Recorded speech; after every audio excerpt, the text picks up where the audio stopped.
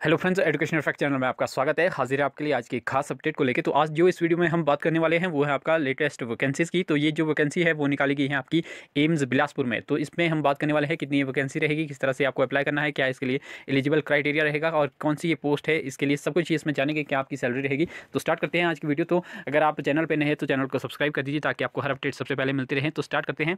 यहाँ पर अगर मैं बात करूँ तो यहाँ पर जो लिखा गया है application are invited for recruitment of following manpower purely on contract basis far.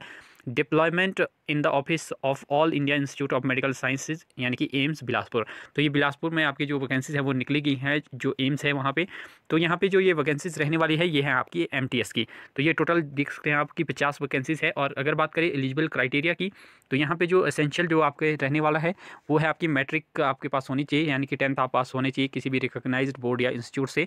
और एक्सपीरियंस इसमें जो मांगा गया है, वो है आपका must have work in a hundred bedded hospital for a minimum period of one year यानी कि एक साल का आपके पास एक्सपीरियंस होना चाहिए, जो आपने काम किया हो सौ बेड वाले हॉस्पिटल पे। और आपकी जो एज है वो up to forty five year age on date तो यानी कि आपकी जो एज है वो पैंतालीस साल तक होनी चाहिए, इससे ज़्यादा नहीं होनी चाहिए।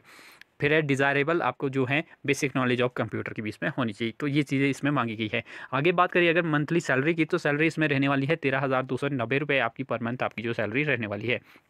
आगे इसमें आप देखते हैं, जो इन्होंने बातें कही हैं कुछ एक तो selection will be made as per the prescribe norm and recruitment of the job और इसमें आपको जो है टी ए डी ए नहीं मिलेगा जब आप, जो भी टेस्ट वगैरह जो होंगे इनके उसके लिए चाहेंगे तो वो नहीं दिया जाएगा। और preference will be given as local bona fide Himachali तो हम हिमाचली जो होंगे, उनके लिए यहाँ पे प्रेफरेंस दी जाएगी। अप्लाई इसके लिए कोई भी कर सकते हैं। और इसमें आप अप्लाई ऑनलाइन कर सकते हैं, ये भी इसमें कहा गया है। और अप्लाई करने के लिए आपको जो है, यहाँ पे इन्होंने बताया है कि फॉर अप्लाइंग प्लीज़ विज़िट आप B E C I L website W W W dot B E C I L dot com पर आप जाके यहाँ पर अप्लाई कर सकते हैं। इसका लिंक मैं आपको डिस्क्रिप्शन बॉक्स में दे दूँगा, वहाँ से भी आप इसे अप्लाई कर सकते हैं। आगे बात करें तो आपके जो स्किल टेस्ट वगैरह होंगे, जब भी तो आपको मैसेज आएगा तो आपने जो फ़ोन नंबर है, वो इसमें सही डाल देना है। और अगर आपकी कोई क्वेरी है तो आप इनसे कांटेक्ट भी कर सकते हैं, ये इन्होंने यहाँ पे नंबर्स दिए हैं। और लास्ट डेट की अगर मैं बात करूँ तो इसमें अठारह आठ दो तक, यानी कि अठारह अगस्त इसमें लास्ट डेट आपकी रहने वाली है। काफ़ी कम दिन है, इसलिए आप अप्लाई जल्दी से कर लें। यहाँ पे आप देखते हैं candidate are require to apply online through website W W W dot B E C I L इस पर आप क्लिक करके यहाँ से आप जो है अप्लाई कर सकते हैं। आप इस नोटिफिकेशन को हमारे टेलीग्राम ग्रुप से डाउनलोड कर सकते हैं, जिसका लिंक आपको डिस्क्रिप्शन बॉक्स में मिल जाएगा। वहाँ पे जाके आप इसको पीडीएफ को डाउनलोड करके, यहाँ जो ये लिंक है ब्लू कलर में, ये एक्टिव लिंक है, आप इस पर क्लिक करेंगे तो आप यहाँ पर जो अपना फॉर्म है वो फिल कर सकते हैं। अब बात करिए फॉर्म फिल करते वक्त आपने जो पहला काम करना है, सबसे पहले आपको जो है, आपकी जो फ़ोटो रहती है फ़ोटो का साइज़ आपके पास हंड्रेड के की बना देनी है। आपने पहले ही फ़ोटो जो रहेगी इसमें, वो आपने पहले ही सिग्नेचर और फ़ोटो जो है, वो हंड्रेड के की रखनी है। इसमें आपके डॉक्यूमेंट्स भी, जैसे बर्थ सर्टिफिकेट टेंथ सर्टिफिकेट हो गया, जो आपका और कास्ट सर्टिफिकेट भी आपने स्कैन करके या फ़ोटो करके, लेकिन उसका जो साइज़ है वो आपका सौ के से कम होना चाहिए, ज़्यादा नहीं होना चाहिए, ये इन्होंने कहा है। तो बाकी इसमें जो आपका सेवन स्टेप में ये आपका जो है फॉर्म फिल हो जाएगा, सबसे पहले आपका सेलेक्ट एडवर्टीजमेंट नंबर आपने सेलेक्ट कर देना है एंटर बेसिक डिटेल्स आपने यहाँ पर डाल देनी है एंटर एजुकेशन डिटेल्स डाल देनी है upload scan photo signature both certificate birth certificate sorry tenth certificate caste certificate application preview और इसमें आपको आ जाएगा फिर, आपको फिर उसके बाद पेमेंट करनी है। पेमेंट की अगर बात करें हम तो पेमेंट इसमें रहेगी थी हमारे।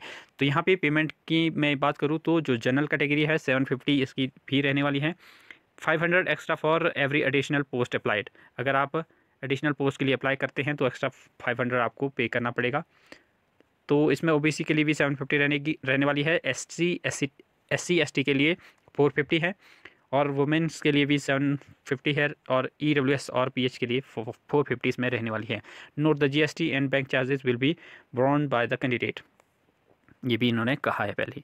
तो इस तरह से आप इसके लिए अप्लाई कर सकते हैं। आपने ये पूरी डिटेल देख ली है कि किस तरह से ये वैकेंसीज आपकी रहने वाली है एमटीएस की वैकेंसी रहने वाली है।